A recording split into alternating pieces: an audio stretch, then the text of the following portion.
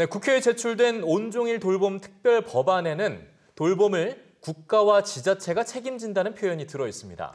네, 이 문구를 놓고 교사들은 돌봄 교실의 지자체 이관을 기대하고 있는 반면 돌봄 전담사들은 돌봄 교실의 파행 운영을 우려하고 있는데요. 실제로는 양쪽 모두가 지나친 확대 해석이란 평가도 나옵니다. 황대훈 기자입니다.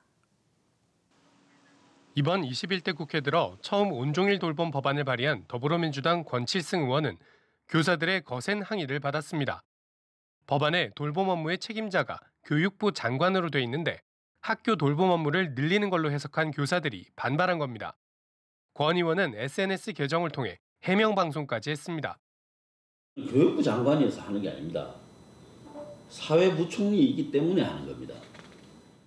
교사들은 정부가 처음부터 현장에 의견 수렴 없이 밀어붙이기 식으로 돌봄 교실을 도입했다고 지적합니다.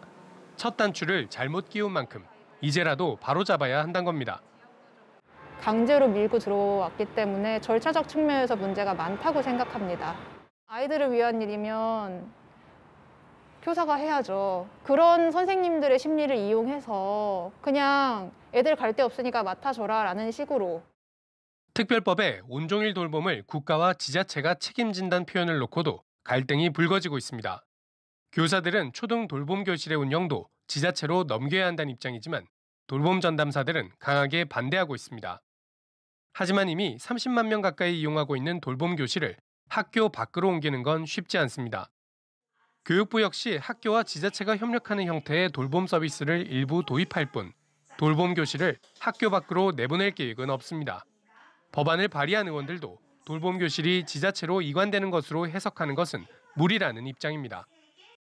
범정부적으로 돌봄 문제에 대해서 체계적으로 토론할 수 있는 틀거리를 만들자 하는 것입니다.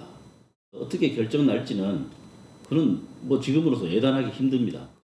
하지만 돌봄 전담사 노조는 이 법안을 처리하지 않으면 파업에 나서겠다는 뜻을 굽히지 않고 있습니다.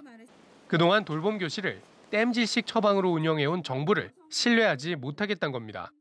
과거에도 어, 외부 위탁 방식의 고용이 있다가 어, 교육청 직접 고용으로 전환됐습니다. 그리고 또 불과 어, 얼마 몇 년 지나지 않아서 또 뭐 지자체 이관을 해야 된다라는 목소리가 나오면 또 밖으로 또 나가서 고용 관계를 또 바뀌어야 돼요. 돌봄 교실이 도입되면서 싹트고 운영되면서 길러진 불신이란 씨앗. 돌봄을 운영하는 사람들의 불신을 제거하지 않고는 제대로 된 돌봄 체계 구축은 어려워 보입니다. EBS 뉴스 황대현입니다.